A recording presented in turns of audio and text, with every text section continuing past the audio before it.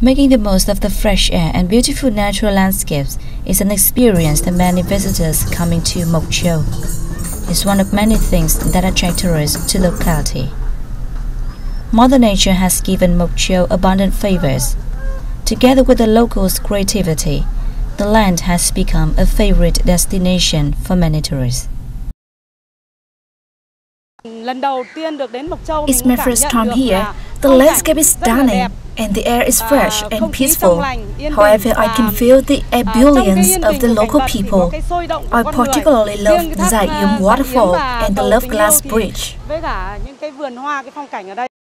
Besides traditional tourism products, new products are also attractive to visitors when they visit Moc Chau.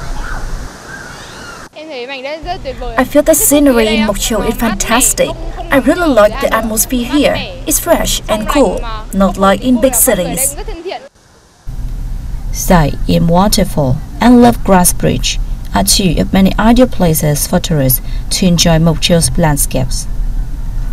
To ensure safety for tourists, we have placed alarm signals in many places, such as slippery and dangerous areas. Thanks to more added tourism products, Moc Chau's tourism has developed and attracted tourists. Preserving cultural values of ethnic groups and protecting the beautiful landscape, as well as strengthening investment in infrastructure, have helped lure more visitors to the locality.